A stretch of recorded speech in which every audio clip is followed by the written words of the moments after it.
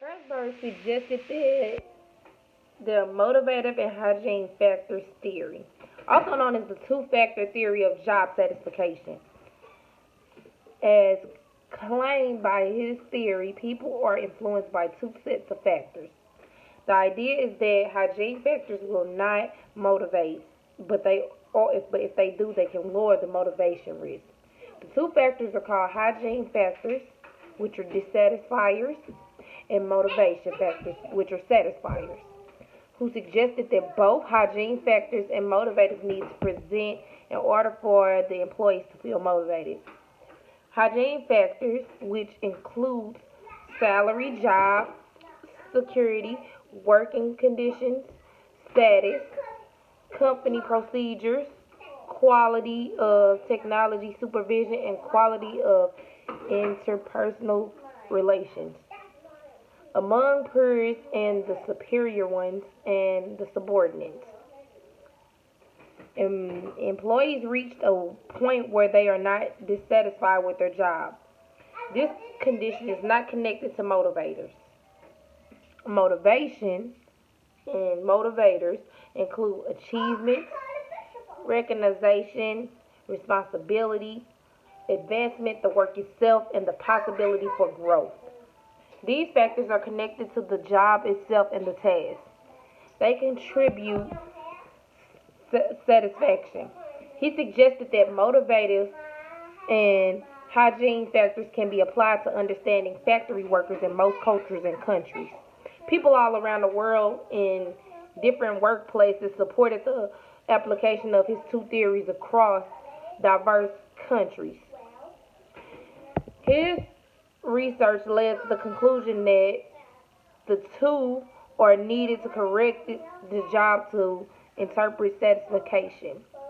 Many managers feel very comfortable about many things Herzberg included in his two theory discussion.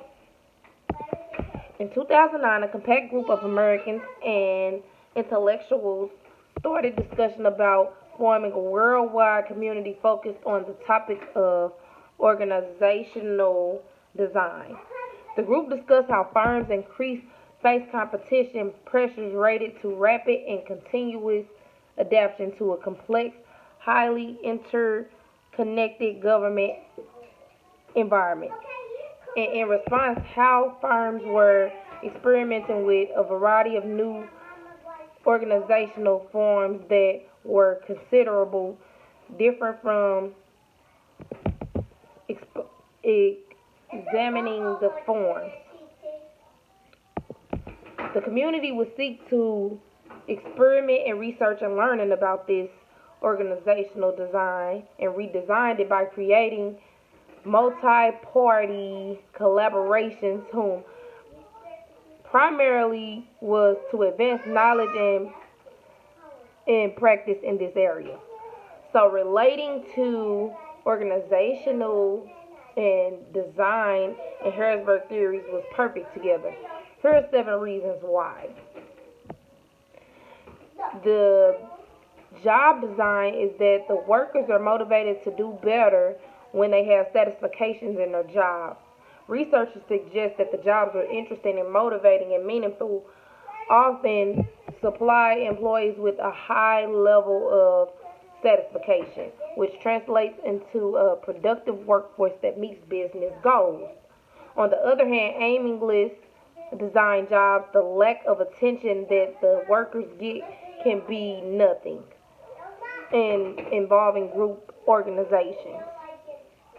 The theory provided awareness that job designs can impact employee satisfaction and motivation and laid the ground of job characteristics theory and became the basics for job enrichment. Herzberg theory is evident through support. This factor has several weaknesses to it too. There are no tanglement measures for the hygiene, and motivational factors. Workers may have a satisfaction because their hygiene needs are being met, but they're still or not motivating at the work.